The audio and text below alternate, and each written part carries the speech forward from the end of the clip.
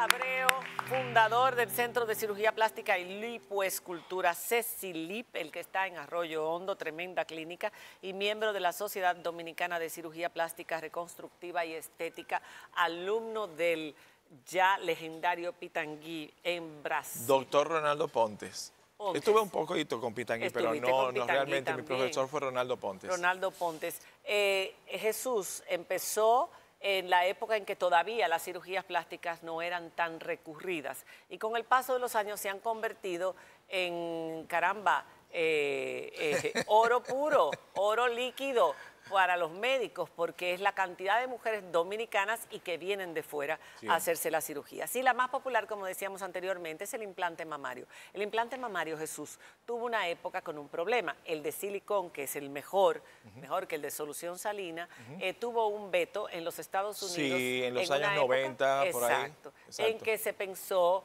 que podía generar alguna enfermedad autoinmune, pero luego ese veto se eliminó. Sin No, embargo, y con la problemática de que muchos se, se- se rompían, se quebraban. Ese es el principal Exacto. miedo. Sin embargo, en los últimos meses, y ya diríamos que de hace un año hacia acá, hemos estado viendo con más intensidad cada vez el tema este de la enfermedad de los implantes mamarios. Usted entra en Google y puede ver muchísimos artículos que una inglesa empezó a, a reportar una serie de síntomas y vamos a mencionar estos síntomas porque estos síntomas realmente preocupan muchísimo. Eh, estamos hablando de dolores musculares y articulares, fatiga crónica, sarpullidos u otros problemas dérmicos, caída del cabello, sequedad ocular y bucal, problemas respiratorios varios, problemas de memoria y de concentración, alteraciones del sueño normal, dolores recurrentes de cabeza, problemas gastrointestinales, ansiedad y depresión. Y cuando uno lee todo eso y tiene los implantes mamarios colocados desde hace varios años, en mi caso, desde hace como 14 años, uno dice, pero es que yo tengo un montón de esos síntomas. ¿Qué significa? Que si me quito los implantes se me van a corregir, como han dicho muchas pacientes. Está, esa es una de las preguntas, ¿está diagnosticado ya científicamente o todavía falta el diagnóstico? Vamos a comenzar por, ese, por el tema de, de- de realmente la, la- la certificación de que es una enfermedad ya formalizada y reconocida. Se han visto muchas investigaciones realmente y principalmente debido a la formación de contractura capsular de algunos implantes, que esto viene relacionado con, el, con, el, eh, con, el- con la edad del implante, con la formación, con, la, con el revestimiento de cada implante. Déjame decirte que los implantes actuales, yo diría que hay muchos implantes nobles por la, la formación eh, técnica que tienen. Ya los implantes an- anteriormente estaban recubiertos de tres láminas de capas, por ejemplo. Ahora ya llegamos hasta siete láminas de capa de, de un implante que es eh, súper eh, consistente, eh, que da una calidad eh, de, de prolongación vital mucho me- mejor. ¿Corrugados o lisos? Mira, ese tema, los, corru- los corrugados, que muchas veces se ven texturizados, son los que normalmente han producido la famosa encapsulamiento, es decir, los que más producen a lo largo del tiempo el encapsulamiento mamario, lo, lo cual se, se pensaba lo contrario al principio. Sí. Y por lo tanto cambiaron de liso a los famosos texturizados. Pero ¿qué pasa? Esos texturizados muchas veces han creado una capa que se incrusta en ellos mismos, como una sedosidad, es como si fuera una, una- un moho, ¿entiendes? Que son los llamados depósitos de microhongos. Y esos microhongos son los que se han visto, según investigaciones, que dan partida a la formación de la metaplasia.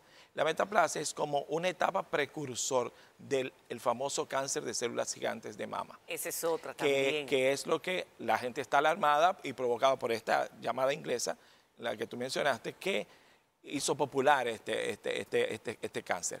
Pero ¿qué pasa? Todavía no se ha totalmente determinado que realmente eso sea la, el origen del, del- del- del cáncer. Porque se han visto también coincidencias que sin este tipo de, de- de- encapsulamiento también se ve el Pero mismo ya cáncer. la FDA ha ordenado a todos los médicos que deben advertir a los pacientes Sí, antes sí, del claro. implante. Bueno, pero ya eso anteriormente ya, ya, ya se hacía. Pero advertir de la posibilidad de este tipo de cáncer y también Sí, de la enfermedad. Y de la enfermedad implante. autoinmune que tampoco está totalmente sabida que es producida por, el, por, por los mismos implantes. ¿Ha tenido- Pero sí, sí he tenido tenido pacientes que se han quitado, se han removido, se han hecho explantes y han Y a las dos semanas me han declarado que ya no sienten ningún síntoma más. Ningún, ¿Cuáles síntomas normalmente de los que usted... Dolores articulares, dolores musculares, que se puede confundir con, mi, con, dolores articulares. Exactamente. Y musculares. Y musculares, principalmente fatiga, pérdida de memoria, eh, eh resequedad ocular. Sí, sí, todas, todas esas, esas, condiciones. La he tenido en algunas tres pacientes, diría yo, certificadamente, que, y han mejorado totalmente. ¿De cuántas pacientes? Pero ¿qué pasa? Hay algunas también que me mencionan este, este tipo de, de síntomas que tampoco le ha mejorado. Entonces, ¿qué diríamos ahí? En algunos casos sí puede ser y en otros no necesariamente. Que no hay una data formal, todavía o fornida que, te diga que eso es así.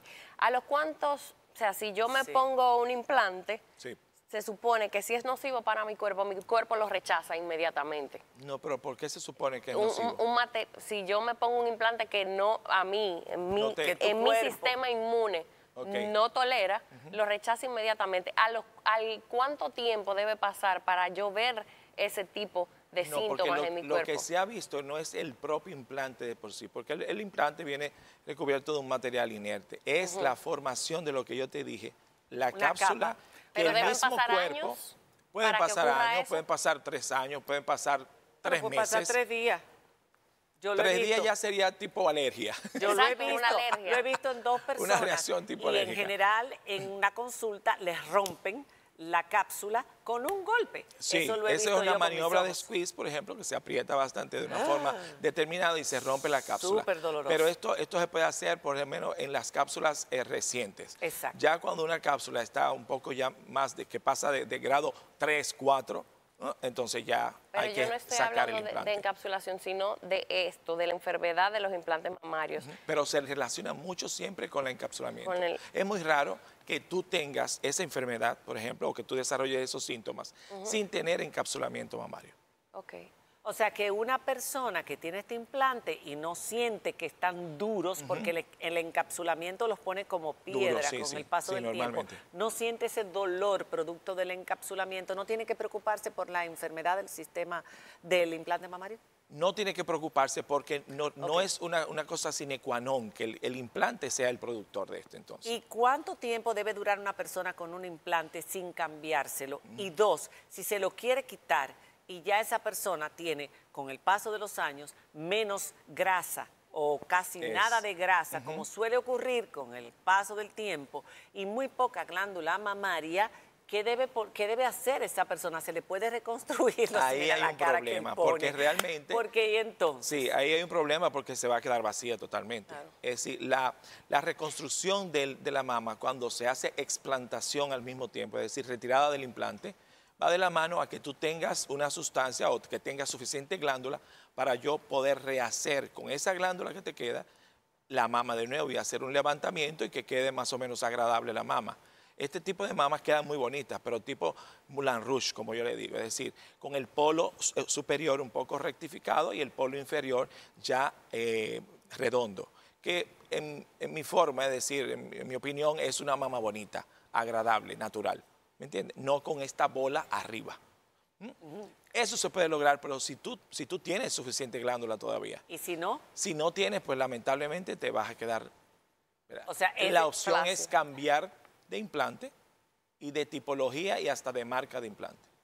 Que hay algunos que han probado más eh, sal, menos, en mi caso, En mi caso, yo cambio, por ejemplo, en una segunda etapa siempre, si son implantes lisos, o, eh, yo lo cambio por, por un material que se llama poliuretano, que tiene mucho menos probabilidad de causar las cápsulas. Ok, otra cosa, eh, estas mujeres que tienen mamas muy grandes y que muchas veces quieren hacerse una reducción y que uno está viendo que en vez de simplemente reducir la cantidad de grasa o de glándula mamaria, no sé cómo es que se hace la reducción, le meten un implante, las están condenando y le sacan casi todo para meter el implante, las están condenando a que después ya no puedan quitárselo si tienen la enfermedad. Para mí es una barbaridad, te lo digo de verdad, porque tú tienes que aprender a hacer una disminución, una reducción mamaria por las técnicas clásicas naturales sin implante. Esta, esta formalidad que se ve eh, actualmente de tratar de sacar toda la glándula y conformar con una bola comprada, como yo le llamo el implante, el seno es muy fácil. No, yo creo que es mejor aprovechar la misma glándula que tiene, porque si hay que reducirla es porque ella tiene exceso coger su misma glándula y dar la conformación natural normal redondeada del implante. Como un seno caído que estamos viendo ahí, ese seno caído se ha levantado pero no se le ha puesto implante. Y, esa es una persona que se le va a hacer una reducción. Una reducción, claro. Y sin ponerle un implante. Exactamente. Con su propio seno. Que es lo más natural, es decir, es lo que se debe hacer. Es lo que se debe. El implante debe ser para una persona que tiene el muy poco El implante se inventó para quien no tiene suficiente glándula mamaria para conformar eso que está ahí. Y hoy en día está de moda ahora el seno pequeño, las mujeres están buscando mamas, implantes más pequeños. Sí, señor. Inclusive hay muchos cambios de implantes. y ah. muchos cambios de implantes que se han puesto retromusculares por detrás del músculo, que se ha visto que la gran mayoría en pacientes que hacen mucho ejercicio se contraen y se queden abolados en la parte superior del, del pecho. Entonces se ven esa connotación como de bola aquí arriba y, la glándula que ha descendido abajo. Entonces, el implante no acompaña el descenso natural porque lo tiene preso por el mismo músculo pectoral. Doctor, en Estados Unidos, que sí se llevan estadísticas, en los primeros albores del milenio, en los 2000, eh, no había Kim, Kardashian o no era tan influyente. Las mujeres buscaban tener una figura más proporcionada, más natural, más estilizada. Esta mujer llegó y puso de moda todo grande, todo grande, todo exagerado. Y ahora estas hermanas están volviendo a la naturalidad o a la proporción de la mujer. Aquí también hay figuras influyentes que llevan a las mujeres a hacer este tipo de locuras que incluso atentan contra su salud y contra su vida. ¿Se está viendo aquí eso? De, devolver a, lo, a lo natural. Sí, sí, gracias a Dios, claro que sí, se está volviendo otra vez. O sea que, señores, las modas son modas. Uno debe hacer lo que es conveniente y lo que el médico les recomiende. Si es un médico responsable, por supuesto, buscar la información y la experiencia de este médico. Y hoy en día están todos en, en las redes sociales, en Instagram, y ahí uno se da cuenta del trabajo. De hecho, vimos que nos llamó mucho la atención un Instagram post que puso Jesús con una mujer que tenía los senos encapsulados, pero nosotros no teníamos idea de que las cápsulas se podían convertir en pañetes de cemento alrededor del seno. Se calcifican y son eh, pedazos de calcio realmente. Calcio, le daba con un martillo y sonaba como si estuvieras golpeando una pared. ¿Cómo una persona puede dormir, puede tener relaciones, puede vivir con dos pedazos de rocas en su cuerpo? todas las mujeres que están atravesando por esa situación tienen que sustituirse los implantes mamarios. Y aquellas, y perdóname Jesús, que quieran, que tengan suficiente mama, glándula mamaria o grasa, que, no permitan. se quiten sus implantes y se hagan su levantamiento y vuelvan con sus senos naturales, que al final es lo mejor. Ha sido una moda, ha resuelto muchos problemas, ha levantado mucha mala autoestima. Y sigue y sigue haciéndolo. Pero también tiene sus bemoles, no lo tomemos como algo tan sencillo. Y sobre todo, y no menos importante, miren a ver en manos de quién usted se pone, porque hay muchos médicos, pseudo médicos, que no están certificados por ninguna sociedad ni nada, que están haciendo procedimientos estéticos sin investiguen ningún tipo de permiso ni sin ningún aval. Sobre la enfermedad de implante mamario, analice si usted padece de esos síntomas y consulte con su médico. Y no me dijiste luego cuánto tiempo es lo más que debe tener una mujer con un implante. No, eso va a depender. Del de la sintomatología. No, no, no, porque por ejemplo, los implantes anteriores, lo que te eran 10 años. Eran 10 años, pero ahora la, la, tecnología ha revolucionado y te puede durar de por vida con tu implante. Toda la vida. Claro que sí. Bueno.